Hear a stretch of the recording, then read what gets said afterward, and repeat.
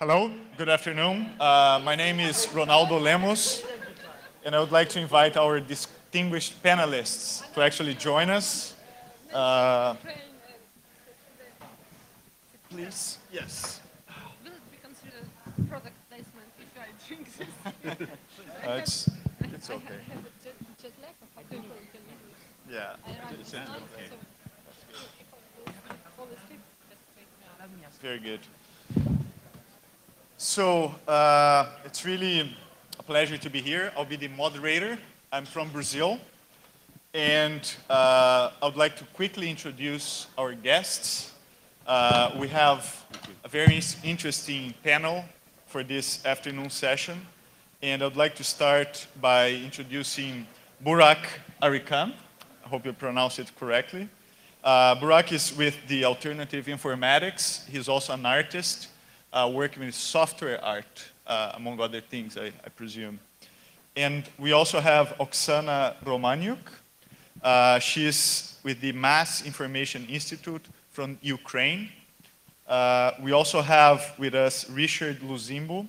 He's uh, with the Sexual Minorities Research Manager, uh, SMUG, and he's going also uh, to talk with us. And then we have Andreas Azpurua from Venezuela. Uh, I didn't get the institution you were. Okay, so it's called Venezuela Inteligentes, uh, local NGO. And actually, as you can see, these are countries that have been in the news uh, recently for various reasons. And I think the main interest of this panel is actually to get an inside perspective of what's going on, and specifically, what is the role of technology uh, in order to cope with the different issues that we'll be hearing through this panel.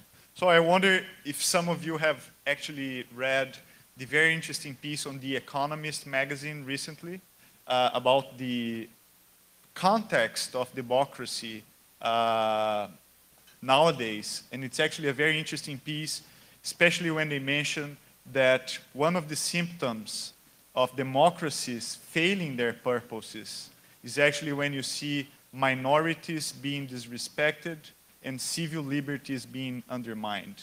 So basically, I think in this panel, we will hear about some of the stories that actually talk and address uh, these particular issues.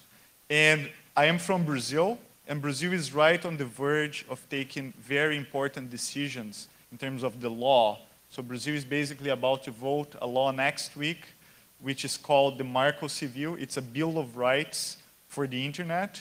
And actually, some of the, the issues that we'll be discussing is actually very important for countries like Brazil and many others in order to take position and make decisions about how the internet and technology should play a role, especially in connection to civil liberties. So I'm very glad to be the moderator uh, of this panel. So uh, let's start. Uh, I will ask Richard to go first. So let's keep uh, uh, the presentations, our, our talks, as short as we can so that we can get the participation uh, of the audience. And then we can start a conversation among ourselves. This conversation can go directly from one another. It doesn't have to be coming to me all the time. So please feel free to actually make comments and ask questions to each other directly if you'd like to. So Richard, please. Thank you very much, Ronaldo, for uh, taking us through this. Uh, just as I was introduced, I'm Richard Lusimbo from Sexual Minorities Uganda, SMUG. SMUG is an LGBT organization that advocates for LGBT rights in Uganda. But until the 20th, uh, 24th of February, uh, we legally, officially declared illegal in our very own country uh, when the president uh, signed the anti-homosexuality bill and a lot of pomp and glamour before uh, cameras and uh, leading news uh, agencies. Uh, this law uh, criminalizes the work that we do.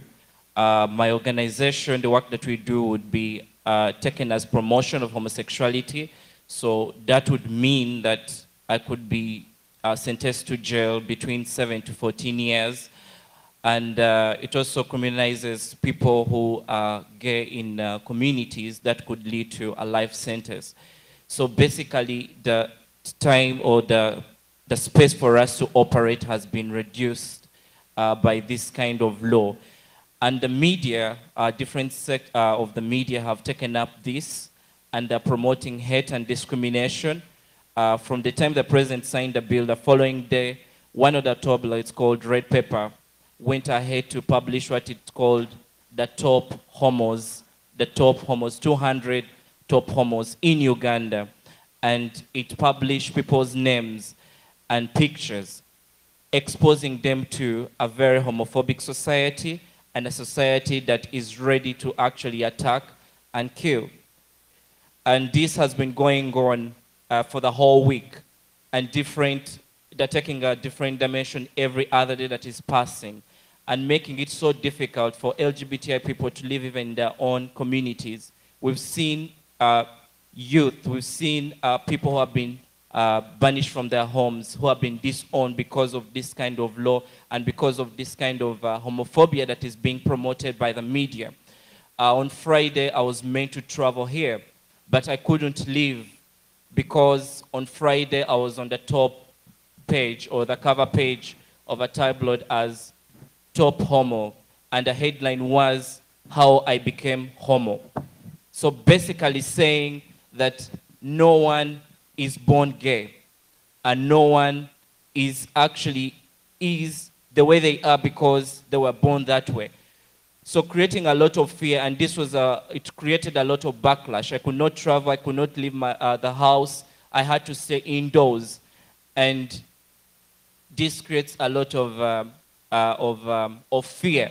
And I'm not the only one who's going through this fear. It's the entire community uh, of the LGBTI people in Uganda. We have been isolated in our very own country we have been uh, persecuted in our very own country. It makes it so hard to go to a supermarket to buy or shop our groceries because you're already pinned up there as someone who is not wanted in your very own community. And we've seen this going on and on, and it's actually being promoted by people who call themselves the champions of uh, Christianity, the champions of, uh, of belief and faith people who claim, who are using actually the pulpit to preach hate and discrimination. So basically, these people, the, the evangelicals, have a very big um, following in Uganda. Given the fact that most of our population is poor, the evangelicals in the mid 70s and 80s, uh, we had a civil war and then we had the HIV AIDS scourge. And that's the time they came into the country and have established themselves. And they're using this, they're using uh, their influence to promote what they're calling recruitment. Uganda, before, no one was talking about promotion and recruitment, but through the evangelicals, we are seeing that this is being promoted because they are saying they get a lot of money from Western countries to come and promote homosexuality, to come and recruit your children. And this kind of uh, talk and a connotation has created a lot of fear and a lot of hatred. We are being banished and we are being uh, uh, are persecuted even in our own countries because of this kind of uh, contention and preaching by the evangelicals. They have actually also taken on to use uh, social media to persecute us. Uh, for example, we've had different pages on uh, Facebook that have been used to out people. And uh, this, because there's so many people who are on Facebook in Uganda, so it was, uh, it's been very difficult for people to actually also use social media because they're scared uh, to be outed.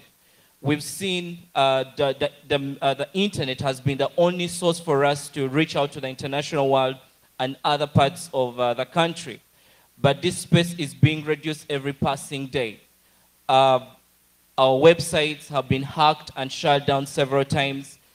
But then the fear also about the internet is while we are using uh, the internet to preach or send out a message, the same internet is being used by uh, the anti-groups to actually uh, persecute us. I'll give an example of, um, we did a very good piece with the advocate, and it was a very good advocacy piece whereby uh, different uh, LGBT people in Uganda we're not talking anything about rights or anything about politics. but basically they were sharing with the rest of the world for who they are and what they do in a daily basis. This was a very good piece to share out there, and it was uh, put on the, on the web. But the red pepper, after the signing of the anti-homosexuality bill, the red Pepper picked the same piece and turned it around and used it against us. So while the internet has been a very good uh, opening ground for us to advocate for our rights and reach out and send a word out there, it's in, within the same space that we are seeing a lot of discrimination, uh, a lot of persecution being used. And uh, we cannot abandon using the internet because it's the only hope that we have. But the only appeal we have or we make is how can we remain uh, using the internet but in a secure way? How can we devise means to continue communicating yet we are safe and actually we protect those that we advocate for as we fight to also actually take this anti-homosexuality bill in the constitutional court to challenge its uh, unconstitutionality. Thank you very much.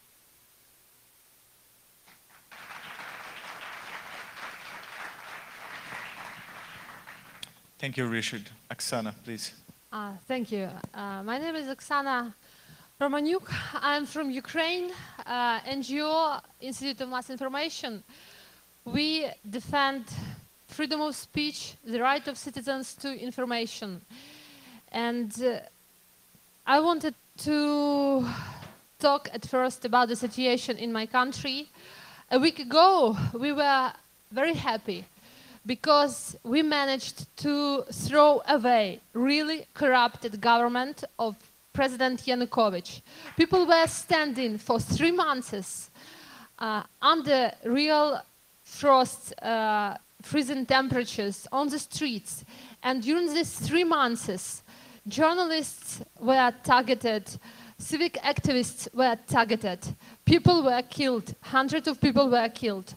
And, but during these three months, a civic society was born in Ukraine. Grassroots communities were born in Ukraine.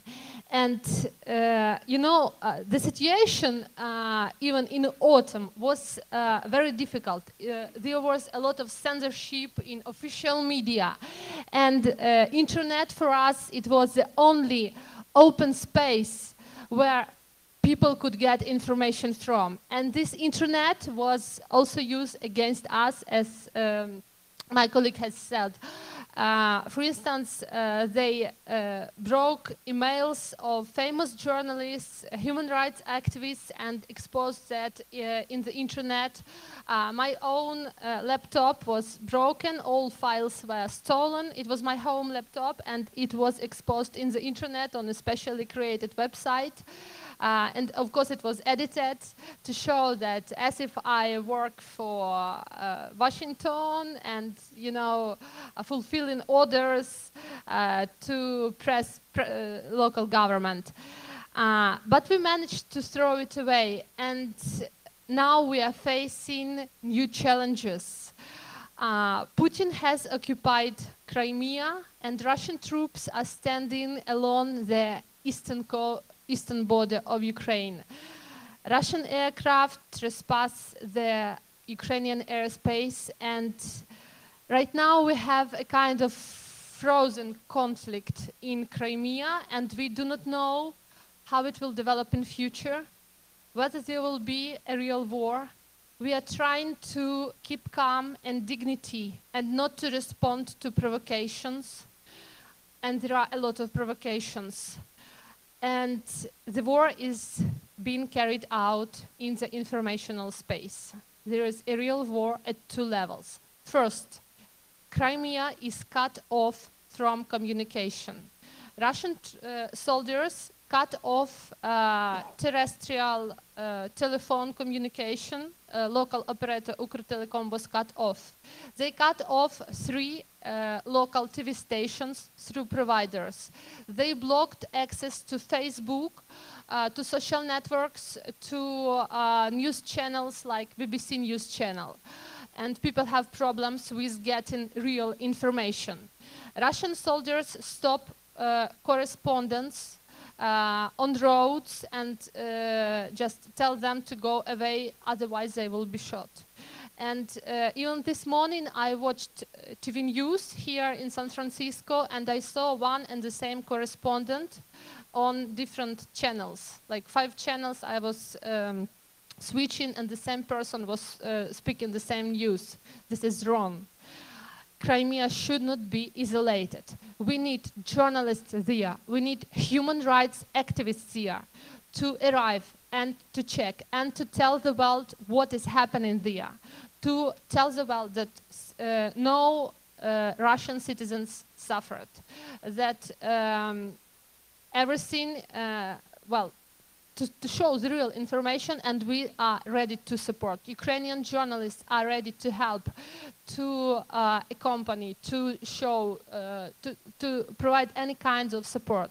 The second level of informational war is um, much bigger, is that uh, Russia is spreading a lot of fake news and false information uh, fake pictures, fake videos.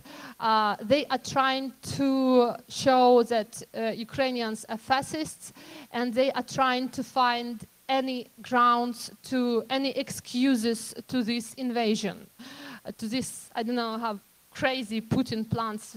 He is believed, uh, believing that he is the second Napoleon or I don't know what is his plan actually.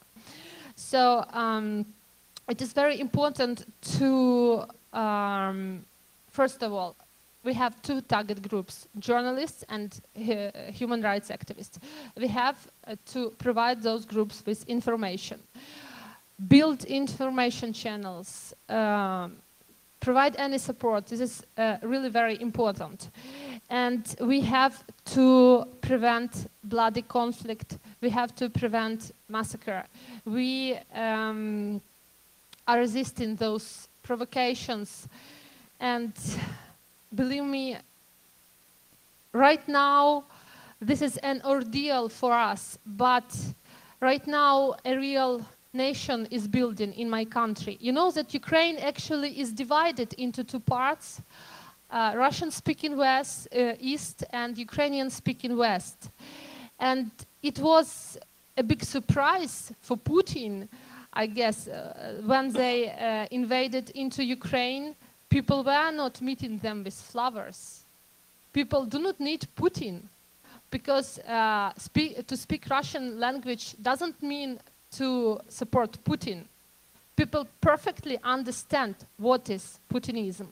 And right now in the eastern oblasts of Ukraine, anti-Maidan and pro-Maidan people are uniting forces against the Russian invasion. Right now, people, Russian speaking, Ukrainian speaking, are coming to understanding that they are Ukrainian citizens. They have to defend their country. Uh, and right now, a special group was created, working group, to have all laws in place to respect all national minorities at a proper level to develop a special ethic code to respect all languages. And right now, even oligarchs from the team of former president, they came to the new government and proposed their resources from uh, financial to influence in their regions to support the integrity of Ukraine for us, it is very important to um, remain safe, to not allow blood, to keep our country. Uh, we threw away those corruption.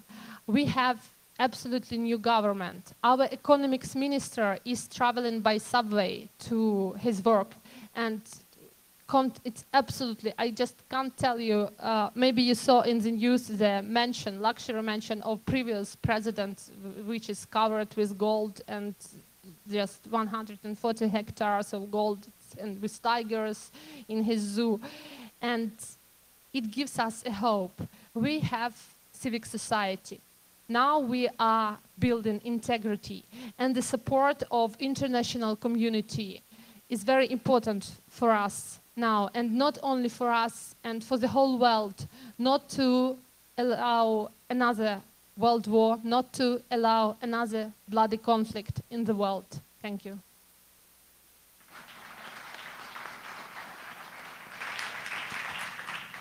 Thank you, Oksana. Um, later, I want to go back to you to understand better how they exposed your information and your data, because I think that's a cautionary tale for many activists around the world, but we can follow up on that later. So, Burak, please. Um, hi, uh, my name is Burak Arıkan. Uh, I'm an artist um, working with software and internet in general, and also working with um, you know uh, this alternative informatics association in Istanbul. Um, we work uh, usually we advise uh, governments and stuff also uh, gather together other NGOs to kind of create a solidarity against the internet censorship and surveillance in general.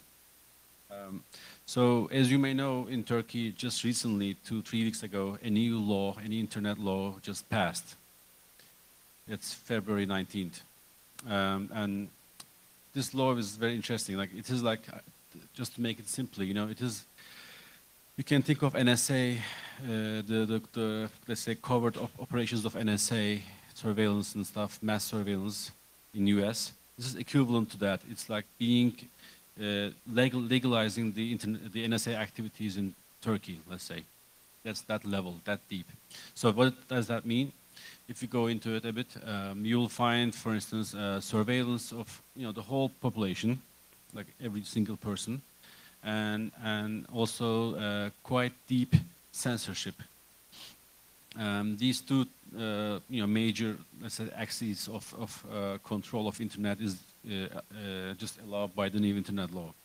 And this has come with a lot of uh, technical difficulties, but also quite, let's say, heavy-handed, you know, operations. I think like enfor law enforcement operations. So, for instance, technically speaking, uh, if you think about the, you know, the censorship was being done before uh, just on DNS, like domain names uh, level, and IP level. Now, with this new law, it will be done through the uh, URL. So that means any object on the internet, like a media file, a video, uh, an account on Twitter or something, can be banned uh, within Turkey. So you cannot access from Turkey to this account, uh, or this file, or this website, or whatever. Um, so, and to be able to do this, such a survey, uh, such a censorship, you should apply a technology called Deep Packet uh, Inspection, as you may know about it, DPI. Um, this is a very like, quite hard technology itself, like to be able to run some, a system like that. Um, so to be able to do such, uh, to enable such technology, of course, what Turkey does is basically goes out and outsource this process, this operation to uh, existing commercial systems, which are also, as you may know, uh, uh, you know, uh, provided by the US and UK-based um, companies. Um, so Turkey becomes kind of, you know, the maybe a major client of those companies, the surveillance companies in, in US. Um, so the other things, the other uh, story is that the, the, there's a new uh, organization founded by the government called ISP Unions, if I translate correctly into English. Uh, it's a, an official organization by the government, and the government requires every ISP to be part of it, to be member of this organization. And then this, this union will mandate, basically, uh, all these surveillance and censorship policies, and they will have to do that you know, the, the, ISPs, they will be required to do all these policies, apply those policies. And it will require them to make new investments, obviously. And as a result of that, you will have uh, a monopoly. Like all these small, we have like around 250 ISPs in Turkey, and only one of them dominates 75% of the market. And as a result of that, major, or, or most of the I think ISPs will be bankrupted or they will have to leave the market, and only few of them will left. So there will be a, even more domination of the uh, ISP in the ISP level. Um, so these are some stories from the law. Like there are some more details that we can talk later on, maybe.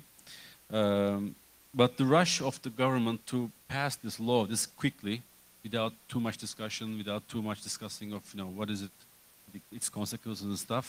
Um, the reason for this rush is that uh, the, the, recent leaks that were revealed uh, about the government in Turkey, like which is uh, which basically this is like around December 17th, which showed that the government was highly corrupted. Uh, the, for instance, the, as an example of how corrupt is that, the, the sons of the Minister of Economy, the Minister of uh, um, Urban Transformation, the Minister of um, uh, Interior, you know, in general, uh, their sons were uh, kind of, by the prosecutors, they were captured from their homes and they found lots of like millions of cash in boxes and stuff. And this was also, it became immediately uh, a topic of a protest, of course, like a joke as well. But at the same time, it was a, you know, a dramatic um, um, uh, story. Um, so, and leaks after leaks, like almost every two, three weeks, we found out these leaks on the web, on the internet. And of course, government was highly, uh, you know, concerned about that. And then they tried always to uh, protect uh, those files to reach the masses. Um, of course, what people do in Turkey right now, the, both civic and you know, both on the streets and on the on the internet, um, they basically uh, whatever whenever they find such leaks, they basically distribute that to the masses in all ways, using like the existing newspapers, like hacking, uh, you know, existing popular websites, or uh, just you know putting things on the street, on the on the public transportation, you know, everywhere. So people find ways of uh, basically disseminating such information about the government and, and their corrupted politics. Um, so, uh, we can maybe talk about later of these type of, you know, what type of resistance exists against government censorship and surveillance. Um, I will just cut short here and, and leave it to you, maybe. We'll come back to that uh, a little bit later. So, Andres, can you give us your account about the Venezuela issue? Well, in Venezuela, with a very limited amount of independent media willing to cover protests or other damaging reports, especially the lack of real-time information coming from news agencies or news television networks. There are actually no, currently there's actually no television network willing to cover protests in real time and mo most of the time they just don't mention whatever is going on if it's damaging. This has been an issue for the last few years, but it has become to a complete lack of information on TV. Printed media is not printing, it's practically with, without printing anything. They're just limiting themselves in the amount of pages they can print because the government is not allowing them to import newspaper without the paper, they cannot keep printing. So the, the, the, the, the printed media is actually in the situation whether they have to limit heavily whatever they, whatever they can publish on, on the newspapers, or maybe comply with the government and hope that that way they'll be allowed to import newspapers so they can keep printing their traditional size newspapers this lack of information, especially the lack of real-time information, has led Venezuelans to inform themselves, mostly online, especially via social media.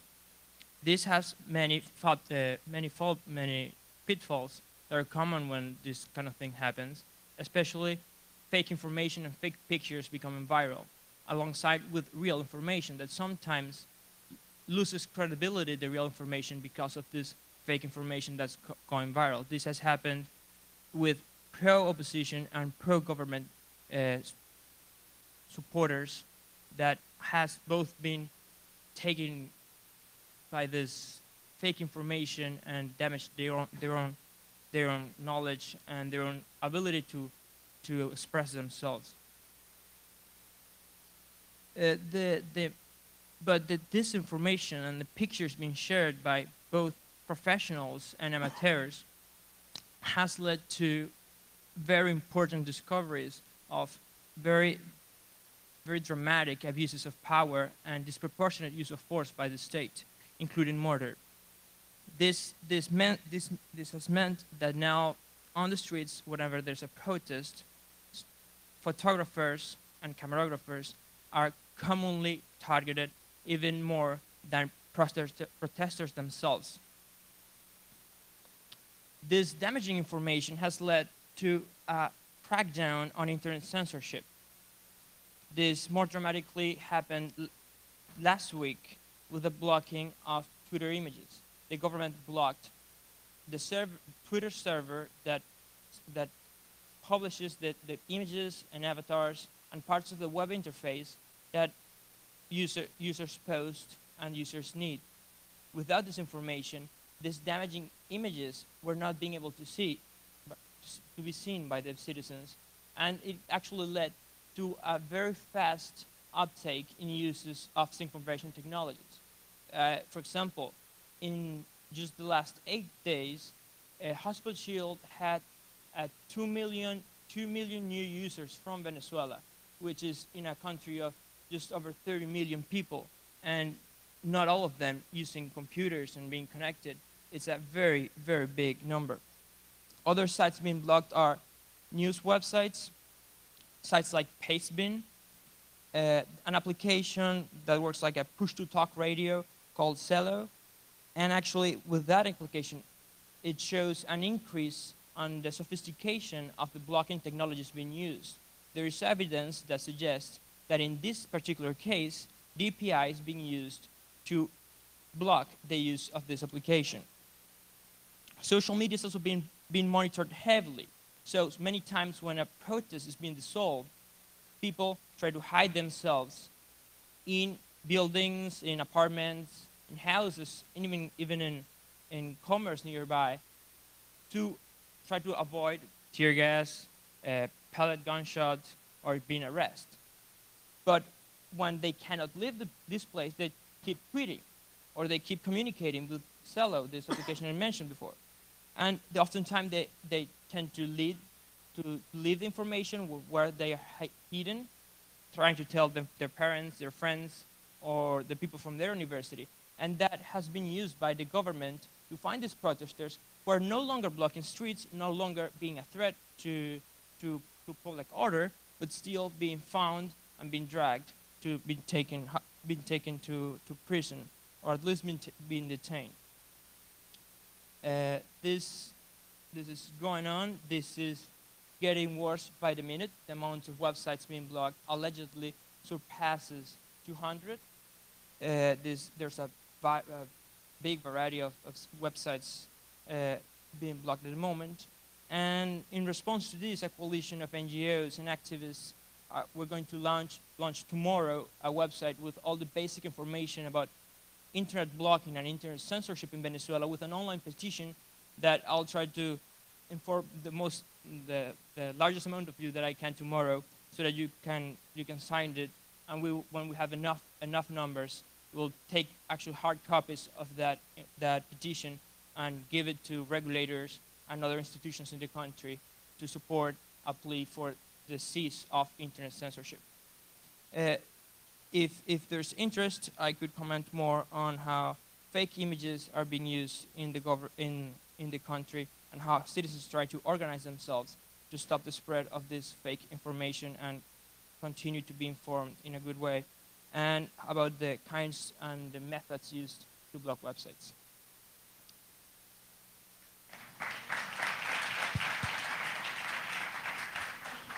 Thanks a lot, Andre. Uh, it's, it's very interesting because I see some uh, common points emerging.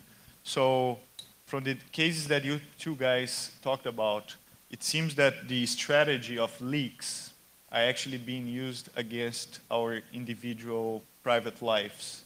So basically, uh, it's exposing information that is part of your private sphere Yeah, and actually using that against you politically, You know, right?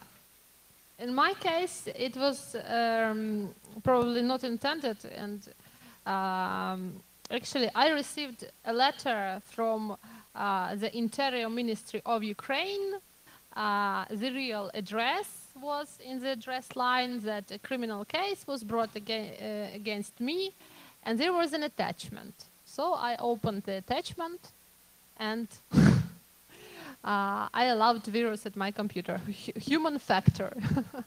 but uh, at that time, I was ill with influenza and I was uh, in my ho house, so they penetrated into my home computer and they took everything they could find there.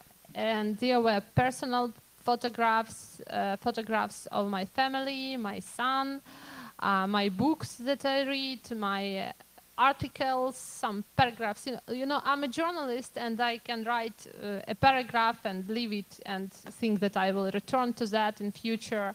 Some projects that I plan to realize. And uh, they just created, they, uh, I don't understand how they took that through a remote commander or something like that and uh, they exposed everything on a specially created website. They edited it to quarrel me with uh, my friends as if I discussed something and called somebody a maroon or, well, uh, but it, it did not work really. Uh, psychologically, it was a big blow for me, but uh, there was a really big support from the community and big understanding. And uh, you know that exactly at that time, my NGO was carrying out a campaign uh, to promote internet security. and I was like uh, carrying out this campaign and I was uh, caught. Uh, but we had we uh, managed to use that factor to promote the campaign. Before that invasion into my computer, people just, well, okay, there are some cyber attacks, digital, what, what's that, digital security? I don't understand. I'm not technical specialist. I have to learn something. I would not learn that, you know. But after that very bright example, they understood that, yeah, guys, digital security really matters. It really can be used against us. We immediately gathered um, journalists in our office. I consulted with specialists and I publicly told what I did wrong, what steps I shouldn't have done, and what steps should be done to prevent that. Uh, actually, it's very easy. Uh, you have just to uh, cut off internet on uh, the um, uh, computer which was infected, to enter from another computer and change your passwords, and then go to specialist. very easy. And um, after that, they tried to uh, attack computers of other human rights activists and other journalists, but they were not lucky. We uh, learned how to trace those attacks. We shared information inside the community. Uh, we are very grateful for the support to IFEX and uh, to a team of EFF. Um, because they consulted us on, online. So we sent that uh, and asked, is it a virus? Can I open that letter? And they responded, yes or no, you know.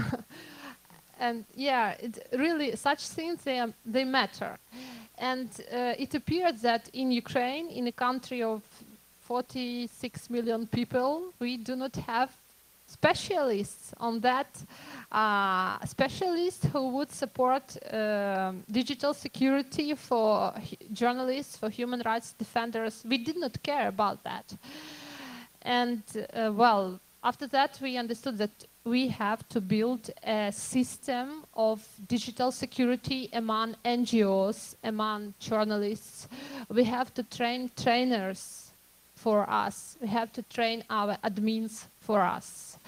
Um, It was one level of attack. Another level uh, is that under Yanukovych rule, we were under the threat or constant threat of searches, of uh, I, I, myself was interrogated several times just this autumn, uh, and uh, we really uh, you actually you have sources there are means to protect information in your computer, not to be afraid of searches.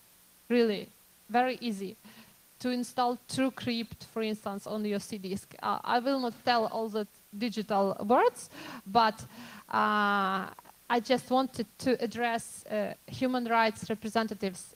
Here at this conference, there are plenty of very good specialists and just use this opportunity and do not neglect cyber attacks. If they haven't happened to you, it doesn't mean that they will not happen in future. Uh, they will happen for sure because the world is developing and new uh, challenges are developing. So this is how it is. That's great. Uh, before we open to the audience, I just would like to hear a little bit from Richard as well about how technology can actually help the situation that you are facing because they, they've been using the press in order to, to expose you and so many other people. Does the internet provide like a, a response, like a, a, an awareness? How do you, do, do, do you think technology is important for that? Thank you. I think technology plays a very big role in this world of today. And uh, one, I've talked about how social media has been a very key uh, for us to send out a word. Uh, we've been able to mobilize the world around uh, the global day of action against the anti-homosexuality bill, uh, which was really successful, and we're using the, the media uh, uh, and social media. But how to use it effectively, I think we've seen some tools that have helped us to protect our information. Uh, in 2012, in December, our offices were broken into, and all that they took was anything digital, computers, recorders, and everything. And uh, in 2013, February 24th, some of the information that was on the computers that were taken from the office was published in a tabloid. And that was a wake-up call for us, and we realized that actually our information needs to be encrypted. And uh, we're able to reach out to uh, people who can help in this regard and uh, currently, to document cases of violence and discrimination, we're using uh, Martus, uh, which is a project uh, by Benetech. So Martus is helping us whereby you document and everything is encrypted. And uh, without the key, uh, no one could get that information. And even if someone came on your laptop, they would never know that actually you're using this kind of software to to, to, to, document or protect uh, your kind of information. Uh, we've also reached out to, for example, like um, uh, uh, thanks to Access, we are all here today, but also Access has also uh, started a project with us whereby we're trying to ensure that our information and not only just documentation, but the entire system. How do we monitor, how do we evaluate our network within the office? How are emails being sent? Are they encrypted? Uh, how, what about the computer that are you using? Is it with genuine software? Uh, is it having any spyware and all that? So those are some of the things that when you look at uh, even a small basic thing like an antivirus is very, very key. Because if you do not have an antivirus, then you're actually exposing yourself to various attacks. And uh, uh, like my friend, uh, colleague here, Oksana, has talked about uh, how her laptop was uh, hacked into. So you realize that if we do not take some of those preventive measures, we're actually exposed. But then within uh, technology and the softwares, as activists, we want immediate answers. And sometimes we have no time for details. For example, if you tell me uh, you should encrypt your email and you should do this and that, I'll say, but look, how about if I just logged on to uh, the World Wide Web and then I sent my email and then I do something else? What, why, why are you telling me I have to get this whole Thunderbird or I have to get this whole uh, email to encrypt it. Then you're telling me something like keys. Uh, so at the end of the day, you find that all those uh, issues or steps uh, make an activist or a person who's uh, thinking of uh, protection and also sending a message a give up. Can we have uh, tools that are actually also in the context that is localized uh, in regard to the activists or in kind of the country or kind of setting so that while we are, are providing security and uh, we are working to ensure that this tool is used, but we're also making sure that it actually fits within the context. For example, if you develop an uh, application that needs fast internet, and then you bring it for an activist like me in Uganda, whose internet is going to take maybe 10 minutes to open the application, do you think I'll use it? So I think, uh, I think we should really, as we appreciate technology, I think we should also appreciate the challenges that come with it, and also within the location and the context that we actually uh, in. Yeah, thank you. So uh, I would like to take questions from the audience. I just would like you two guys to think about one quick question. You can answer it after we hear from the audience, which is, in a situation in which the internet is being cracked down, like in Turkey, or like in a situation like Venezuela with fake profiles, the public sphere being actually manipulated by the government, who do you call? How do you mobilize if your like basic uh, tools are actually being undermined? So I'd like you guys to think about this. What are the institutions? Is it the Supreme Court, the judiciary? Is it political mobilization? Other countries? Uh, how do you reach out? So think about that. But before you answer, I just would like to hear from the audience. So please, if anyone has a question, it's a good time to ask.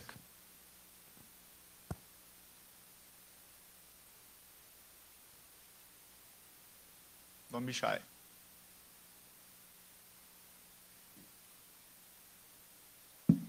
Please, go ahead. Is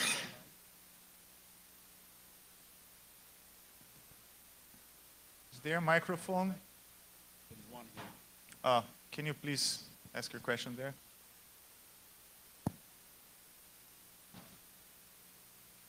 Thank you for a really inspiring and interesting panel. My question is about dissemination of security tools. And I'm curious for you, like, how do you find these tools and how do you disseminate them? And are they in languages and packages that are useful for you in your networks? Or uh, what means and modes would make the delivery of these tools and packages easier for you? And I've noticed that a lot of them are online. So getting them to places where the internet has been blocked or turned off seems particularly problematic. And I wondered if you could comment on how you can get around those issues. Can some of you take this? Well, uh, I can answer for the for the Venezuelan case, and the dissemination of, of at least the the circumvention technologies uh, has happened just all of a sudden in Venezuela. Suddenly, when they blocked the Twitter images services, everyone was asking what to do, and in response, the very few people who had this information tried to disseminate it to um, as many people as possible, and the actual information became viral, like retweets and the hundreds, and people just copying the information and pasting it, which came with some setbacks because sometimes the information lost context, and you would see people like, use this, use this proxy. Here's the IP. Use this, with, use it with this this port number, and and but without saying who's managing that server, who owns it, who runs it, is it really safe? I mean, it could it could be a honeypot you, could, you shouldn't be able to, you shouldn't be, be sending the kind of information without all the context or just sending links to, to, to download software without instructions in Spanish, which of course wouldn't work for many people. Uh, many organizations uh, dedicated themselves to try to give this technology to people. So a number of websites were created with simple to use uh, instructions in Spanish with pictures so that people could follow them uh, other other organizations and even news news websites publish this information as well. Uh, I think one of the one of the biggest problems in addition to the broadband speeds, which are very very bad in, in Venezuela, and some people some people say that there's some deliberate degradation of service going on. Uh, the problem is, what about the security of these files, those files you're downloading? How, how do you know someone is not putting a man-in-the-middle attack and just putting, just pretending to be this VPN provider website, and in reality you're downloading something else. So that's that's a big concern, and without without education, it's it's hard to overcome. Yeah, I think uh, more or less the same story in Turkey. Uh, nothing very different. Like translate things into your own language and disseminate. You know, basically. And they are. I mean, you can find the files everywhere. So peer-to-peer file sharing, etc., etc. There's nothing new about that, but you know, this is the way to go always. I think I think also about delivery, how could we get these tools uh, to the activists and how, I think one, if, because of internet issues and how to download and everything, think uh, developing like putting them on CDs or DVDs is another way, like you send them over. And sometimes if you could, uh, for example, instead of uh, labeling it like, uh, uh, let's say, uh, a spyware or something, maybe if you could name it as a, a music file or something, that could also help because there's a certain time, um, uh, this is not an example that is related to technology, but it would give us a vivid example. We had a very good person in, uh, in Netherlands who was a very good supporter of the LGBTI movement, and we're planning to do um, a Pride March. And uh, they thought of how to support, and uh, they were like, okay, we are going to send you a rainbow flags, uh, we're going to send you posters, uh, so that you use them for the march, and like, wow, thank you very much, that's really nice, and we're all excited. But when they packaged the items, the first picture when you could when you opened the the package was I am gay, come and arrest me, Uganda. So when the package was brought to the post office, it was opened. And the first thing they saw was, I am gay, come and arrest me, Uganda. So the whole package was confiscated and uh, we had to battle it out and try to do a lot of explaining and making sure that none of us could appear at the post office, uh, office in order not to be arrested. But such an error could be avoided, whereby if you're sending this software and it's to protect, uh, we could uh, send it maybe as a music file, and we all love music, and no one would ask because we're already having issues of uh, promotion and uh, anything that comes from uh, the West, and then it's having a whole uh, kind of uh, description. They will totally say, oh, this is how you're promoting homosexuality. And I think if we can find a way to go around it in a way that it's not provocative, but also is also not communicating exactly what is on the CD or DVD, then we'll be able to uh, send those tools to, to, to, the, to the activists. And then I think there's also an issue about sending the application or software without providing some kind and form of training. Because if there is no training of how to implement the tool, then it, there are going to be uh, lots of challenges of how effective that tool will become. So I think where we develop, I think we should also think of mechanisms of how we can take uh, the activists or how we can take the users of these tools in uh, areas of risk uh, to learn and understand how to run these given particular tools. Thank you very much. Maybe say Yeah, something, please. yeah. Um, so maybe I want to talk a bit, a, little bit about the body politics of this whole story. Um, so usually we talk about like files, uh, ways of privacy, security, etc., etc., which is always uh, in the knowledge level, right? But the body politics is very different, as we all experience. Um, so uh, I should give some examples of this. Like the, the first and probably the largest protest against internet censorship and surveillance happened in 2010 in July in Istanbul. This is around 50,000 people on the street only for you know, the freedom of internet. Nothing else, nothing like freedom of expression or something else, just the internet. This is interesting. And we organize this event like with, with, the network of a lot of people together. And, and the reason this happened and with, with this many people's participation is because the use of a hybrid system, which is both the street and the internet at the same time.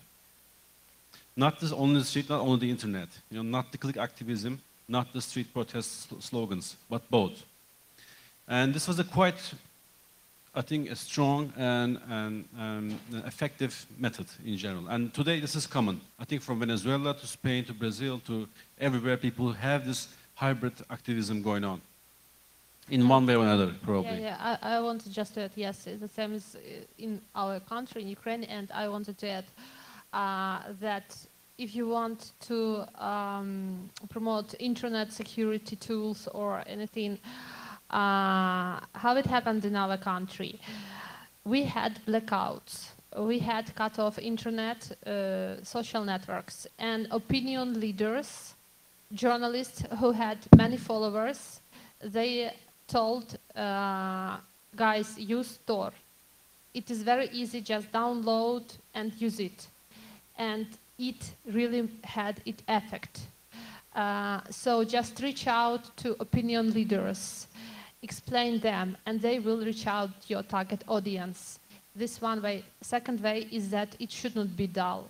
It should be. It shouldn't be boring. It should be fun.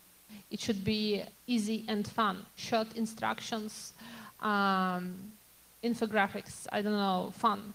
And uh, I wanted to support what my colleagues have said. Uh, social networks are really a very powerful tool. Uh, right now, people in Ukraine are mobilizing in Facebook, in Twitter. Uh, we have very big community in Facebook, uh, which is organizing very big amount of things, from raising money to uh, support those suffered, those injured, and uh, to media community in Facebook where journalists share announcement and check reliability of the information. So social networks are really very important tool to reach communities, to organize and to mobilize. Yeah, but I think we should never forget that this is both ways. You know, there's always a feedback loop, a positive feedback loop between the street and the internet. And this is the thing that causes these events to explode, you know. I mean, as you may know, in the system theory, there is that two things, like positive feedback, negative feedback. Negative feedback is for optimization. Engineers all know this very well. Uh, but positive feedback is for chaos. It generates like expansion, which happens in the protests everywhere, in, in the, you know, in, again, in, in, these places. And I think, like, I, I will give an, a little example of this, what this loop is about, uh, this feedback, this positive feedback loop. For instance, when you see your friend on the street outside of this building somewhere there, like being detained, or you know maybe uh, there's a bomb like next to him, a gas bomb or something like that. But it's your friend, you know, social networks and stuff. You're on the media. When you see this thing, it's like you want to go outside and help him. Or people call, uh, like you know, ask for help in the parks. They say we occupy this park like the Wall Street uh, occupation, and come on, we need water you know, we need food, whatever, clothes, etc. And when people bring this thing to the park, they understand, they make this connection back. The, the, the loop completes, you know.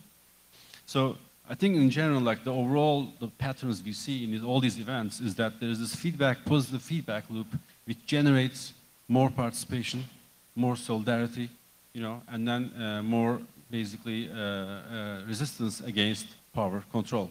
Yeah, and this is particularly important in places where diversity in media is largely non-existent because otherwise people will be on the streets protesting and the people who notice or know that this is going on is just the people who live one block, two blocks away from that. Otherwise, the rest of the country, the rest of the city, wouldn't even know that this is going on there. So it's, it's, it's, it's really key and not not being able to show this online, showing these pictures, uh, trying to tell what's going on on social media. If you're not able to do that, then your your communication rights are being damaged.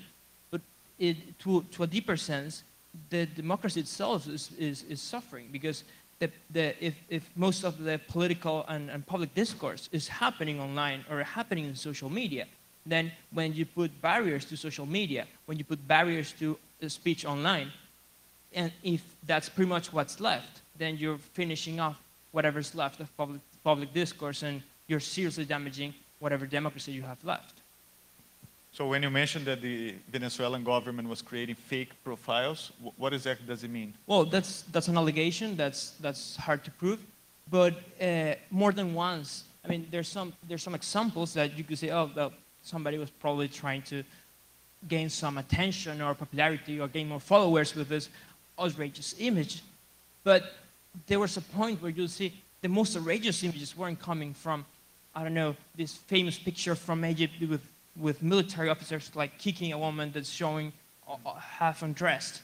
I mean, that, that image is well known. Why would you post that? I mean, it's, it's, hard, to, it's hard to imagine someone who's, who's an activist trying to push this as, as, a, as, a, as an, a picture of what's going on. Even the, the, the uniforms themselves do not match. But, and more outrageous images were being shared, and those were real images. So the allegation that has some fundaments is that was being done deliberately to then allow public officers say, well, they're using social media to destabilize the country with this fake information and present us in a very bad light. The, the joke is that the government themselves have been subject to, to, to similar errors because their own, their own social networks have been, as well as the pro-opposition side, have been trying to show outrageous images of the other, of the other side doing Right. bad things and showing the, the, the, the minority of the bad actors of, the, of each side.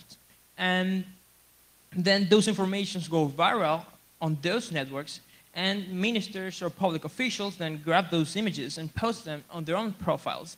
And then they'll- they, they end up showing fake information Yeah. as public officers on public accounts. And then it gives legitimacy to something that is basically sometimes groundless. yeah, frequently. It's unfortunate, but we have to wrap up. So if you can uh, very briefly uh, have your last uh, comments, I would appreciate if you could raise to some extent who do you call in a situation like that? What are the institutions that we need to reinforce? Because I, I see an underlying debate here between uh, technology as a solution, so fight fire with fire, and also uh, the question of the law being the solution, the institutions being the solution. How do you see it? Like, i- is it all about technology, institutions, both? So, Richard. Uh, thank you. I think it, it all starts from us, the individuals, uh, the human being. Uh, one having a positive mind and a mind that is, uh, in my case, that is free of uh, discrimination and hate. Uh, I think where we are using uh, technology to advocate for human rights, I think we've also identified loopholes. For example, while people are going on Facebook, uh, it's again not as safe anymore because someone could pretend that they're actually gay, and then before you know it, uh, that the same people who have been collecting information on you and actually outing you. I think there is need to uh, look more into uh, privacy uh, for for what kind of information that we share. If we can focus on how to protect, because uh, like I've been talking about how we've been using the internet and the website as the only way to pass our message out there. If we can look into how to protect our information, not to be uh, used, because we are talking about whatever is saved in the cloud, you actually totally lose control of it. So is there a possibility that actually we could work around to make sure that whatever is saved in the cloud is secure and is actually mine and I could only share it um, with whom I choose? So basically, that's something that may not have an answer today, it is something that we could think about and we could look for a solution. But I think I would say that if we can support and uh, provide platforms that protect our websites from being hacked, uh, that our website can be secure so that, that the voice through which we communicate to the rest of the world and our information to go out, I think that's something that we'd really much appreciate. And also, I think working together to do mobilization, because right now, like in Uganda, we're planning to go in the constitutional court to challenge the Anti-Homosexuality Act that was signed by the president. And I think the coming few days or weeks are going to be tough, but we are not scared to do this. But I hope through the technology, we shall be able to share the challenges and all that is happening uh, without fail, because I know at one point they might want to interrupt uh, Twitter or Facebook as a way of communication. But if we can still have a website that is running and we can still share, then I think uh, that would be very, very good. Thank you very much. Well, I think that there are much more positive things coming from social networks, from internet than negative. Internet is a tool and it depends on you how do you use it. It's like telephone. Yes, you may receive a phone call with threats. So what? Block incoming calls from unknown numbers? No, use it like a tool. It is a resource for you to promote your position. I think publicity is helpful. It can come. Publi- uh, uh, it can uh, help protect rights. It can help promote ideas. And we should uh, use it as, as much as possible and not be afraid. What is uh, the most important right now in my country is to defend information and is to defend the right of people to receive information.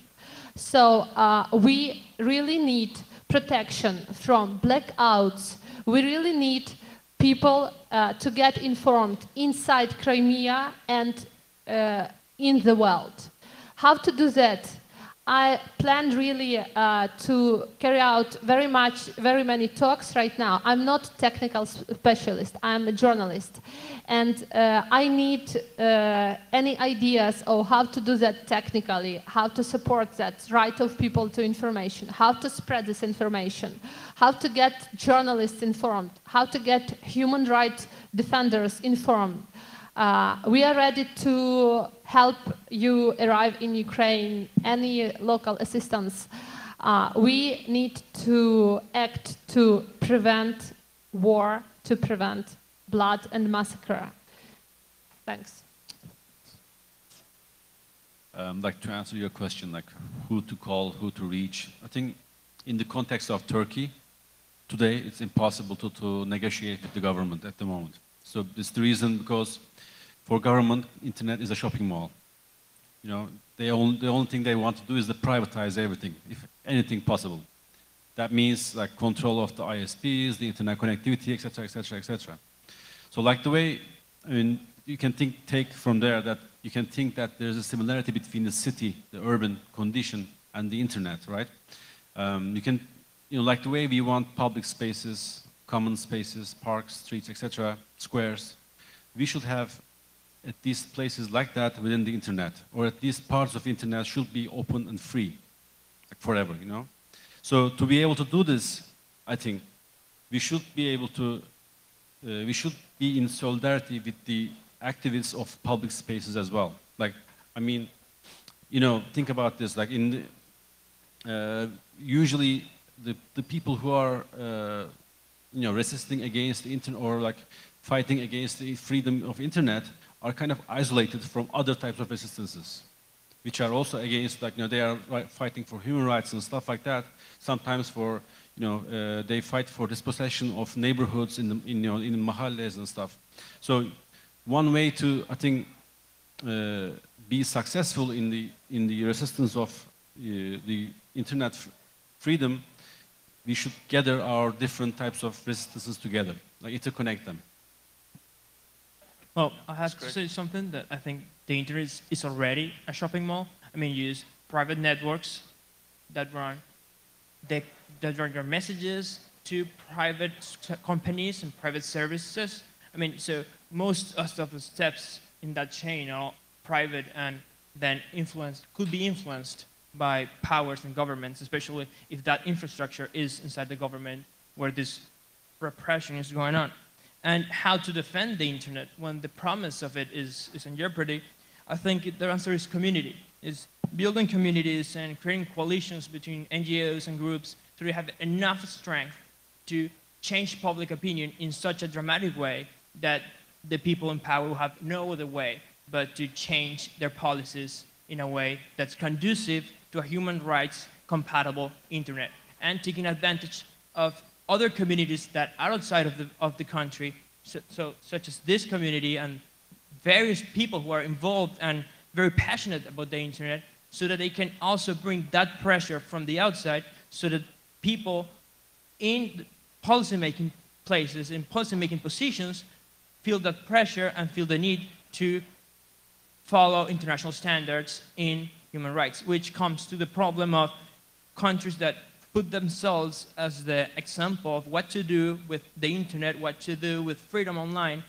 and when they, in the end, don't, don't follow up through, when they have agendas and promote internet freedom agendas in, in the rest of the world, but inside of their countries, whatever's going on is highly critical. So, yeah. That's great. So from the perspective of a country like Brazil, my country, I think uh, next week we will try to put the chips on the law because the technological part of it is pretty messy, but hopefully we get a, a good law that will probably try to prevent, uh, you know, difficult situations like some of those that we heard today. So I would like you to join me to thank for this brave uh, panel. Thank you so much, guys.